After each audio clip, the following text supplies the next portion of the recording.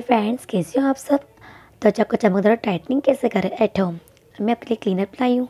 मैंने अपने लोटस का फेस वॉश लिया है, जिससे फेस अपना क्लीन करके रखा हुआ था। अब सेकंड स्टेप ले रही हूँ एवरीथ का स्क्रब स्क्रब से आपकी त्वचा बेहद स्मूथ हो जाती है, जिसके कारण स्किन में ग्लो आता है और ये ब्लैकेट्स भी निकलता है। इसके दाने से ब्लैकेट्स अच्छे से निकल जाते हैं। ये कम बजट में, लेकिन कंपनी बहुत अच्छी है। मतलब अच्छा प्रोडक्ट है।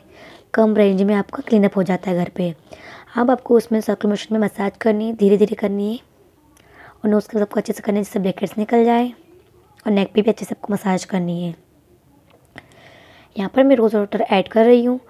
मैं ये रोज़ वाटर इसलिए ऐड कर रही हूँ। आप चाहो तो इसकी जगह ऑरेंज का जूस भी ले सकते हैं कोकुम्बर का जूस भी ले सकते हैं।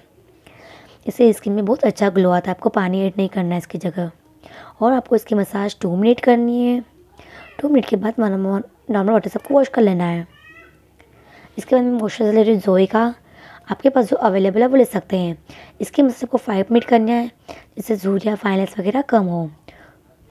ये अपने फेस में अप्लाई करके बता रही हूँ, और इस स्टेप में आपको मसाज करनी है, और अब ऊपर की साइड करनी है नेक में भी। आपको नीचे की साइड आपको मसाज नहीं करनी है। मैं चिक्स पे देख सकते हैं, मैं कैसे मसाज करके बता रही हूँ आपको। ऐसे ही करना है। और नॉर्मल वाटर से आपको वॉश करना है फाइव मिनट बाद मसाज करने के बाद। फोर्थ स्टेप आती है नीम का फेस पैक अब मैं फेस पैक अप्लाई करी हिमालय का और ड्राई स्किन वाले, केसर का फेस पैक ले। मेरी ऑयली स्किन इसलिए मैं नीम फेस पैक ले रही हूँ। यदि आपका मेरा वीडियो अच्छा लगता है, मेरा अच्छा लगता है टिप्स अच्छे लगते हैं तो प्लीज़ मेरे चैनल को लाइक सब्सक्राइब ज़रूर करें।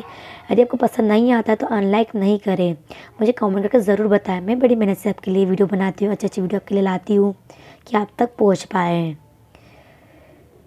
इसका रिज़ल्ट आप स्क्रीन में देख सकते हो। और थर्टी एज वाले वीक में मतलब मंथ में टू टाइम करें।